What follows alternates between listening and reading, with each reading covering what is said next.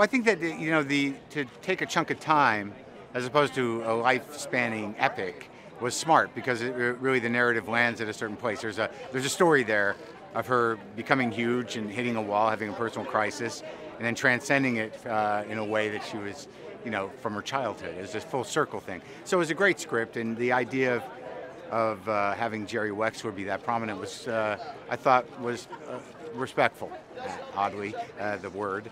But uh, he was such an important producer and such an important guy in her, in her life, and also like a guy that kind of was at the. He was one of the inventors of modern music in a way.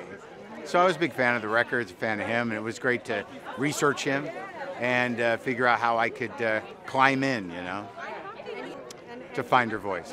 Challenged her to find her voice. That was the trick, is that he knew that she was kind of spinning her wheels and not really finding out, you know, finding who she was with the music she was being asked to do, and he gave her the opportunity to do that and pushed her to to go deeper and to, to find a groove that uh, was her own.